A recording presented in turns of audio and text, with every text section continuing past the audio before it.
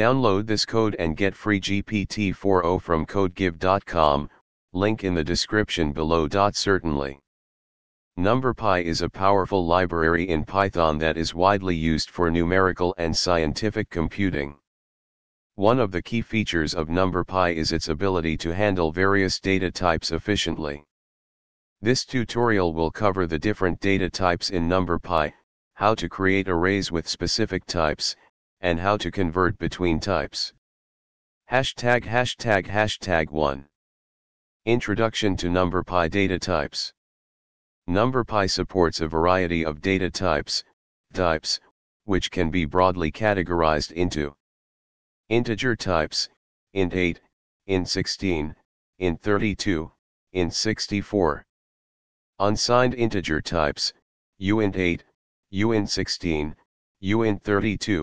uint32, uint64. Floating point types, float16, float32, float64, float 128. Complex types, complex 64, complex 128. Boolean type, bool. String type, str or Unicode. Object type, object. Void type, void. Hashtag hashtag hashtag 2. Creating NumPy arrays with specific data types. You can create a NumPy array with a specific data type by using the type parameter when creating the array.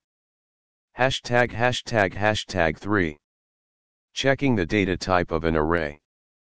You can check the data type of a NumPy array using the dot .type attribute. Hashtag hashtag hashtag 4. Type conversion. NumPy provides functions for converting between different data types. You can use the .astype method to cast an array from one type to another. Hashtag hashtag hashtag 5. Summary of common data types.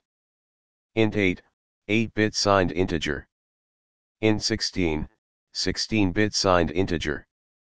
Int 32, 32-bit signed integer. Int 64, 64-bit signed integer. uint 8, 8-bit unsigned integer. Float 32, 32-bit floating point. Float 64, 64-bit floating point. Complex 64, 64-bit complex number. Bool, Boolean type.